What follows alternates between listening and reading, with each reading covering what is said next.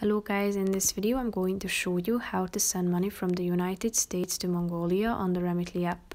But first I just want to mention, don't forget to subscribe to my channel because at 100,000 subscribers I am going to show you my whole YouTube revenue statistics and growth strategy, how to make money online. Now let's jump into it.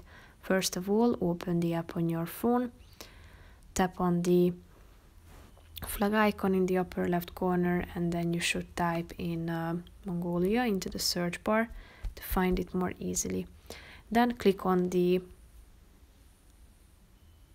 get started button down below and after that type in the amount that you want to send. Click on continue, select the delivery method and cash pickup option, type in the first name and last name, type in the city and then the province tap on continue, type in your phone number and tap on skip, add new card and add your card details and tap on next down below.